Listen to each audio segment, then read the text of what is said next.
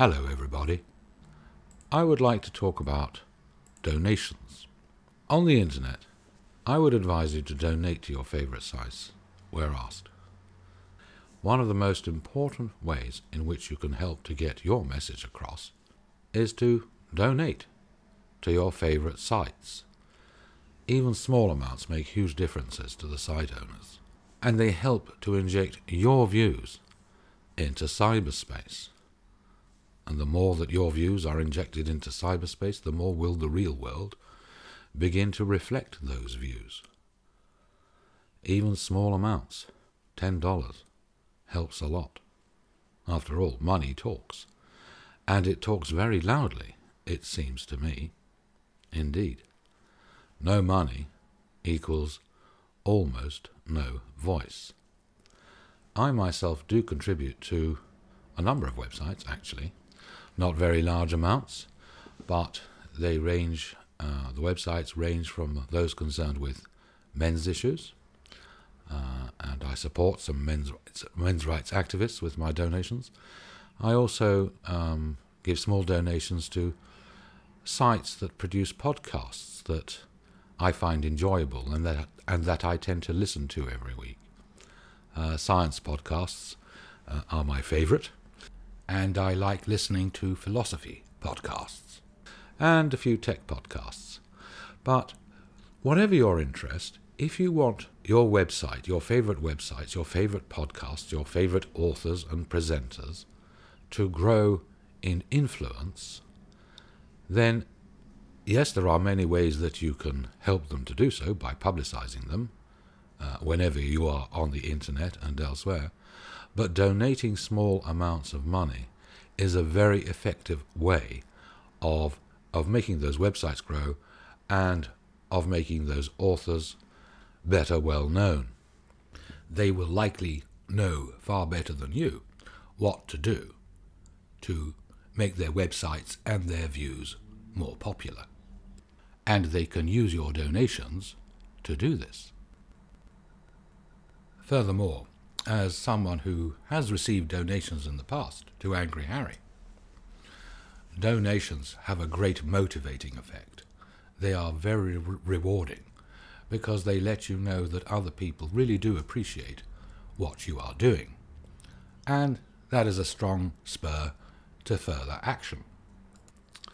In connection with the Voice for Men in particular, um, I have, for example, on occasion seen even MRAs um, complaining about the fact that um, Paul Elam asks for donations to his website. And I can assure you, and I can, I can assure those who, um, who tend to have doubts about the effectiveness of donations, that they are wrong. Donations make a big difference, not only because they encourage the people whom you support to continue with their activities, but also donations help them to purchase the appropriate equipment and time with which to do their job, a job that you want them to do.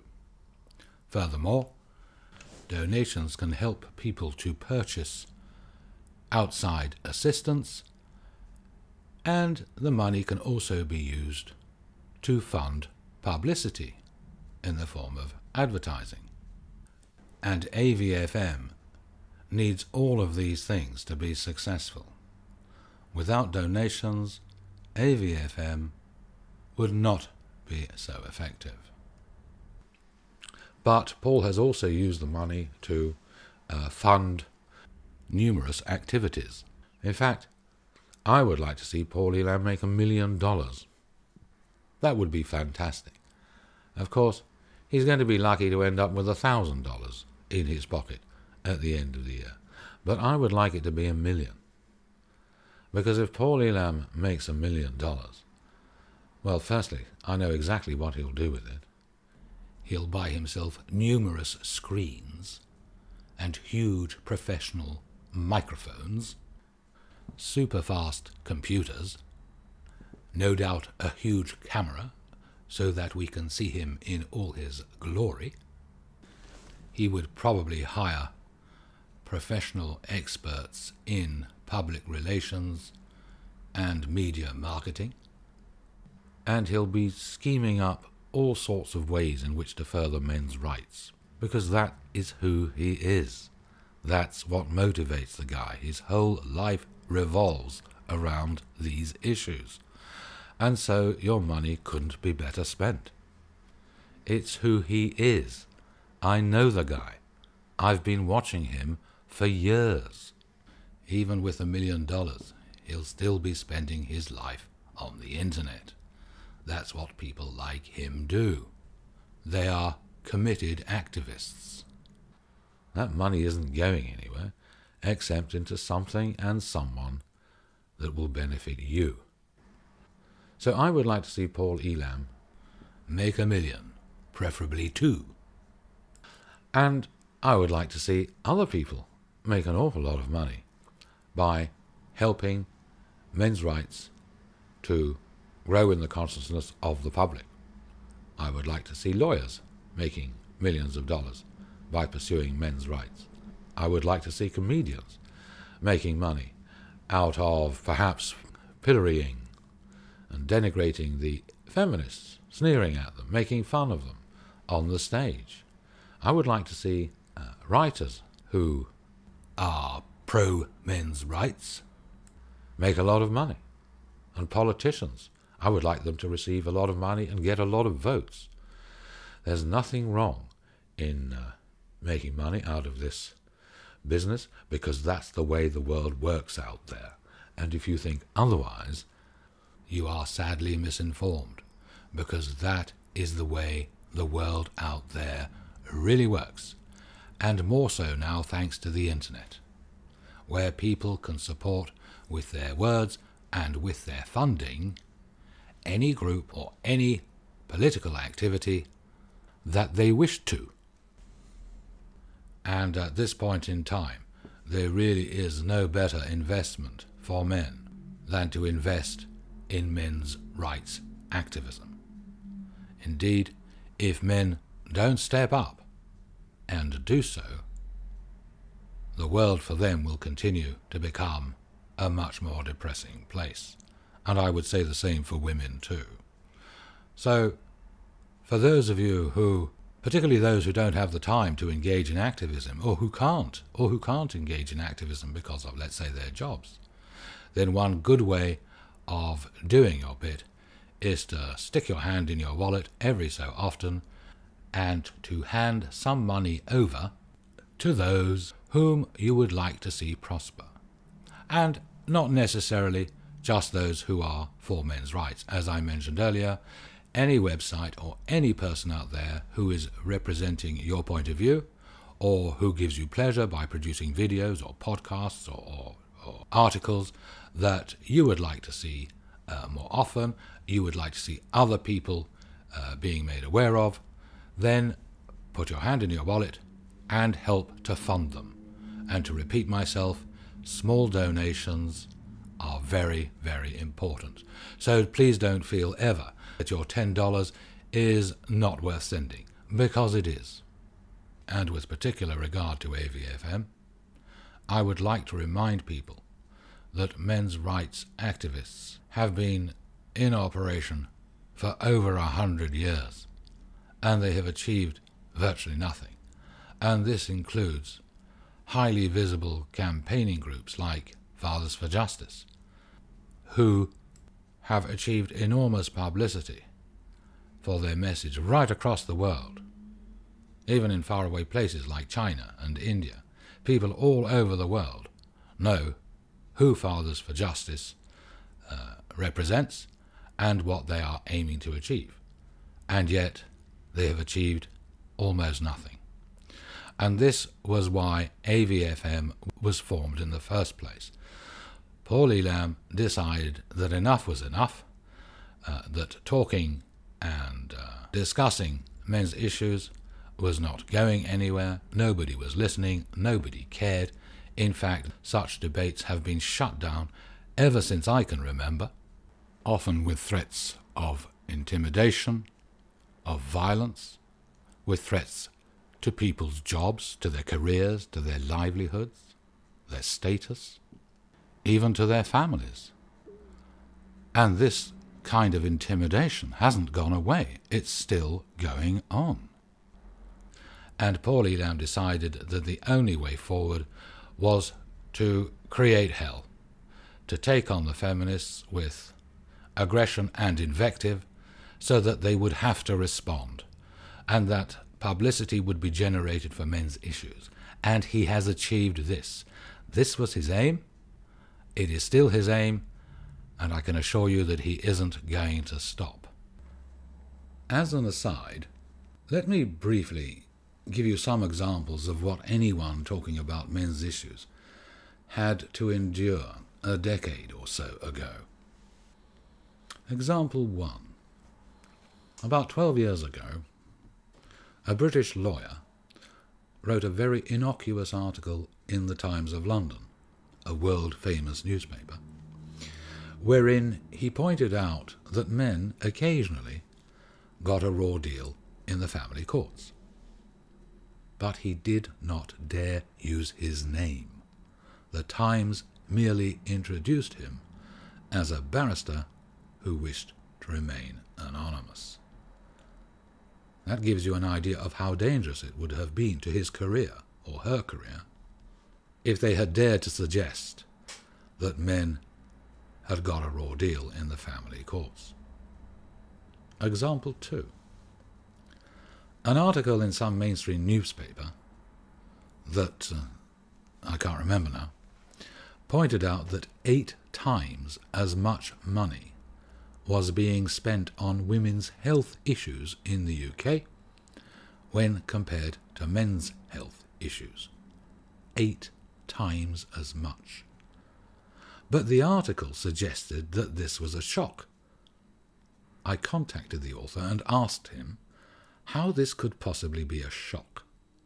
Because I had known that there was a huge disparity for some time. He told me that he had to write the article in this manner so as not to upset vulnerable women, who might feel guilty about this disparity and hence not seek medical help when necessary. In other words, the government and the media, the feminist dominated media, did not want men to know that eight times as much money was being spent on women's health. Example 3 The United Kingdom men's movement was a small movement that was uh, very functional during the 90s. And as it was uh, the beginning of the internet, certainly for Hear Us in the UK, uh, websites were very flat in those days. And in the case of this website, uh, by the United Kingdom Men's Movement, it was basically one page, which pointed out that the domestic violence statistics were skewed. And it also suggested that feminism had something to do with it, but there was no rudeness and no hostility. Well, guess what? Some of the main search engines delisted the website from their search pages. This was before Google's existence. But the point is this even the slightest criticism of feminism would result in such shutdowns. Example 4.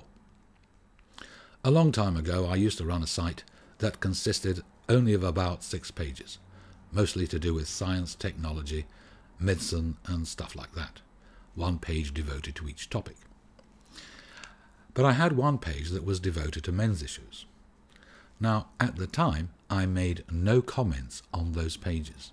There was no Angry Harry, there were no references to Angry Harry, there was no links to Angry Harry. And the men's issues page was simply an ever increasing list of paragraphs culled from mainstream publications with links. Topics to do with divorce, child access, domestic violence, but no Angry Harry and no comments by me. And yet, simply because of this page, I had problems with advertisers and web hosters. And I would sometimes receive emails with the usual insults. You have a small penis, your mother didn't breastfeed you, and so on.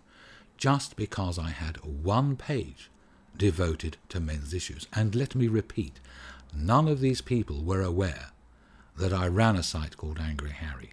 There was no connection. Example 5 Film and TV producers, scriptwriters, even in Hollywood, were ceaselessly being bombarded with hysterical claims that, for example, should they portray false accusations of abuse, sexual, domestic violence, or otherwise, then they will be harming victims. And so they stopped doing so. In other words, false accusations by women could not even be portrayed in fiction. The idea being to continually indoctrinate the public with the belief that all accusations are true.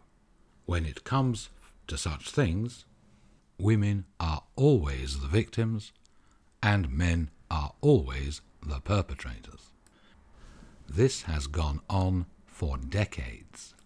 Indeed, there was also an accepted prescription that prevented fictional plots ever portraying women as being deserving of some kind of retribution, especially violence. In other words, women should never be portrayed as doing acts worthy of retribution. Men, of course, are forever being portrayed as being worthy of having violence directed against them. Most people just have no idea of what a stranglehold feminists and various women's groups have had and continue to have over the media, over companies, businesses, corporations, politicians, academics, and so on, right throughout our society at all levels. And if you think that this was solely about a concern for women, you're wrong. So, example 6. It was in about the year 2000, I think, when I first realized that feminists had no real concern for women. I had stumbled upon an article by two American gynecologists who were complaining about the fact that no editor in a mainstream women's media publication would publish well established findings that showed that many tens of thousands of women every year were actually destroying their chances of ever reproducing because they were delaying too long to have babies. The claim of the doctors was that in order to encourage as many women as possible to embark upon careers, feminists did not want women to know that they stood a good chance of missing their reproductive opportunities. In other words, basically, these feminists didn't want women to have children, and they were quite prepared to block medical advice which told them of the consequences of delay. And they had a huge influence on these women. I don't know what the medical situation is now, but we do know that millions of women delayed for too long, largely thanks to feminist deceit and feminist dishonesty. So never kid yourselves that feminists are genuinely concerned about women, because they're not. Well, I could go on, but essentially, nobody could speak about men's issues if you spoke about men's issues at all, even in the most innocuous way, you would find yourself on the receiving end of some kind of trouble or problem, even UK lawyers. And this kind of thing still goes on today, all over the place. And this is why Paul Elam became who he became when it comes to men's activism. His message to the feminists was this I am a shit who doesn't give a damn anymore. I will chase you, I will harass you, and I will draw people's attention to men's rights whether you like it or not, and you will not stop me. The time for MRAs attempting to talk to you is over. So I hope that some of you will better understand why he does what he does. Those are his tactics. You might not agree with them, but they are effective, and they are the only tactics that I have ever seen working. I have seen nothing else produce the kind of publicity for men's rights issues than has been produced by Paul Elam. And so I would say to you this if you have time, support AVFM. If you have some spare money, support AVFM. And together, we will change this world so that it is a much better world, not only for men, but for women too. We are going to do this anyway, without your help. We now have numerous men's rights activists, some within the men's rights movement, and observably so, others working behind the scenes on our behalf inside their own professions, inside their own jobs. People from all walks of life police officers, prison officers, lawyers, journalists, psychologists, and many others. And so I have no doubt at all that eventually we will succeed. This is an unstoppable movement, which is hardly surprising since men make up half the population there are some 3 billion males on this planet. And so there is no question in my mind that men's rights issues are increasingly on the agenda and that men's rights activists have the capability to push the agenda right through to the end.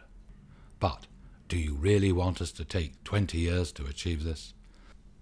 With your support, financial or otherwise, we can get this job done much more quickly. And finally, for any feminists who are listening to this, I have a message for you. It's over. Feminism is being exposed for what it really is. An ideology that is exactly as Erin Pizzey describes it. An evil empire. And as United Kingdom Prime Minister Margaret Thatcher once said, it is poison, by which she meant it was poisonous to society.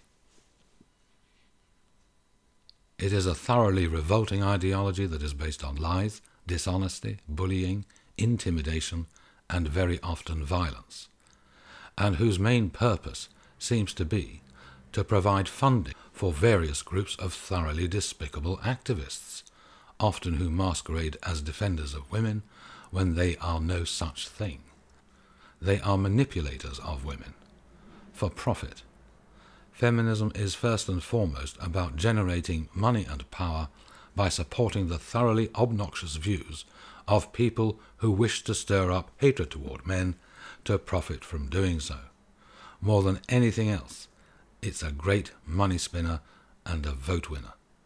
And it's the oldest trick in the book to demonize a group of people in order to stir up fear of them, to stir up hatred toward them, to claim that you can protect people from this horrible group and to gain power and money by doing so.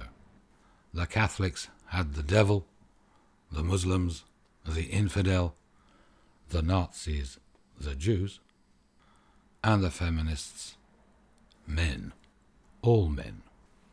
Bar the heavy violence, feminism is almost an image of Nazism, with people being horribly discriminated against in many areas of life and demonized horribly and continually, while forever being threatened if they dare step out of line or speak out of turn simply because of their genetic code. In this case, they have a Y chromosome. But feminists cannot hide behind their lies anymore.